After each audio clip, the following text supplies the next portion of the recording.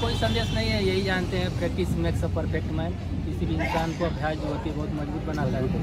अगर किसी भी चीज़ को आप हल्के में लेंगे तो आपको निराश करेगा आगे चल के तो अपनी जय हिंद नमस्कार साथियों।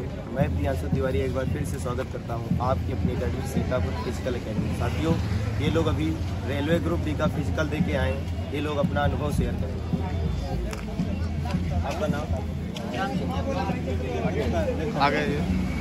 जी मेरा नाम शहरुल अंसारी है। मैं गाजीपुर से आया हूँ। गाजीपुर जी अभी हम लोग का फ़िज़िकल आज था आठ बजे और हम लोग का लगभग साढ़े नौ बजे दौड़ पूरी हो चुकी है। अच्छा आपका रिपोर्टिंग टाइम कब था? मेरा रिपोर्टिंग आठ बजे था। आठ बजे था। हाँ, लाइनअप हम लाइन अप साढ़े सात बजे कर लिए थे और हम लोग को वही लाइन में कितनी देर खड़े होना पड़ा? वही समय एक से डेढ़ घंटा लग रहा है सब प्रक्रिया पूरा करने में। अच्छा फिर उसके बाद क्या हुआ?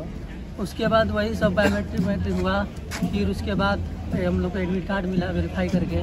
फिर उसके बाद पैरों में चिप लगाया गया उससे पहले वेरीफाई करने से पहले। चिप उप लगाने के बाद फिर हम लोग को वहाँ पे थंब और इम्प्रेशन लगाया गया और वो डिक्लेरेशन फॉर्म भरना पड़ा और बाकी जमा करके और वेरीफाई करके दे दिए।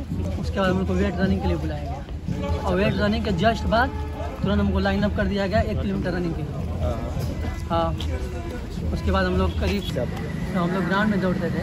तीन पैंतालीस से लेके तीन पचपन के बीच हम लोग दौड़ लगाते थे। अच्छा चार डाउन आता था जी चार डाउन आता था। और पहली दफ़ा जब दौड़ते थे जब स्टार्टिंग किए थे तो चार पच्चीस लगाते थे। चार पच्चीस। चार पच्चीस से हमारा तीन पैंतालीस हो गया। और यहाँ पे जो स्टाफ है वो बहुत बढ़िया है सपोर्टिव है। आपको स्टेप बाय स्टेप सारी प्रक्रिया आपको वो करना है। घबराना नहीं है अंदर। और डर बिल्कुल जब आप ग्राउंड में चले जाएँगे तो डर खत्म हो जाएगा। ग्राउंड कैसा है? ग्राउंड बहुत एक एवन ग्रेड है समझ जाएँगे। जो आप यहाँ पे दौड़ लगा रहे हैं? बहुत लोगों का क्वेश्चन ये था कि नंगे पैर रनिंग कर सकते हैं हाँ कर सकते हैं। आपका आपका मन।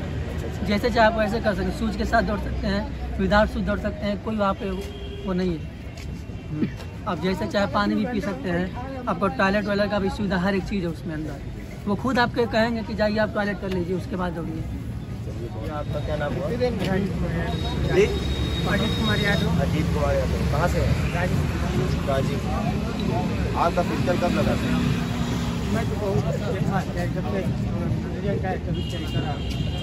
पहले टाइमिंग क्या आती थी आपकी? नज़दीक आ जाइए। पहले टाइम चार पाँच चार आठ। लास्ट टाइम हमारा चार टाइमिंग लास्ट टाइमिंग चार दो। यहाँ पे उम्मीद क्या की जाएगी क्या टाइमिंग दिया होगा? तीन छप्पन पचपन यही मेरे बहुत है आपका नाम राहुल मौर्य कहाँ के रहने वाले गाजीपुर जी आपकी टाइमिंग पहले क्या आती थी यही टाइमिंग मेरा रेशियो रहता था जैसे वही एवरेज रहता था तीन पचास तीन पचास पहले से आज भी उम्मीद है कि तीन पचास का तीन अड़तालीस तीन पचास यही जाएगा लाइनअप आप कितने बजे हुए थे लाइन को देखिए रेंडमली किसी को भी आप कोई भी अगर कोई भी टाइमिंग किसी भी शिफ्ट में है तो आप दौड़ सकते हैं। अगर वो डे है मतलब हाँ, उस- डेट दी है कि हाँ। किस तारीख को होना है तो जिस- जिस डेट को आपका पीटी पड़ा है। हाँ। अगर उसमें आप चाहें तो सुबह दौड़ सकते हैं शाम में। कोई ऐसा इशू नहीं है कि आपको आप लेट आए हैं क्यों टाइमिंग रिपोर्ट नहीं किया है। अच्छा अच्छा। कोई टाइम का इशू नहीं कि कोई आपका। अगर आठ बजे आप दस बजे दौड़ सूटेबल लगेगा दौड़ने के लिए आप उस समय दौड़ सकते हैं। हैं और कुछ संदेश देना चाहेंगे? और कोई संदेश नहीं है यही जानते हैं practice makes a perfect man किसी भी इंसान को अभ्यास जो होती है बहुत मज़बूत बनाता है। अगर किसी भी चीज़ को आप हल्के में लेंगे तो आपको निराश करेगा आगे चल के बिल्कुल। तो अपनी अपना प्रैक्टिस जो होता है अपना प्रैक्टिस को मज़बूत रखना है ताकि ये निराशा ना हाथ लगे कि जा कर के कोई कह दे कि बंदे से नहीं हो पाया। क्योंकि ओवर कॉन्फिडेंस में लोग उस अपॉर्चुनिटी को गवा देते हैं और जानते ही कहा जाता है कि लॉस्ट अपॉर्चुनिटी है वेरी चांस कोई अवसर या दरवाज़ा बार बार नहीं खटखटाता है। जो अवसर मिले उसे निभा लेना निभा लेना चाहिए।